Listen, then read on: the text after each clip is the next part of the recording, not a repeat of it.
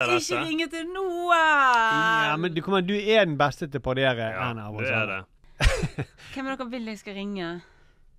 Nei, til partiet til, uh, til Erna. Takk for ringen. Hei, Ja. Hei, det er Ja, perfekt! perfekt. Høyres pressetelefon, snakk med Iris.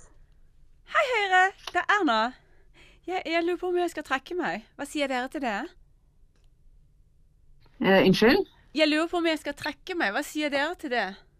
Ja, det er Hvem var det som Erna. ringte, sa du? Det er er Erna. Erna, ja. Ja. Eller skal jeg skille meg fra Sindre? Noen tanker om det? Jeg håper du får en fin kveld. Nei, vi skal, vi skal på Geilo i helgen! Vi blir en gjeng. Ha det. Ha det. Ja, og så sushi, da.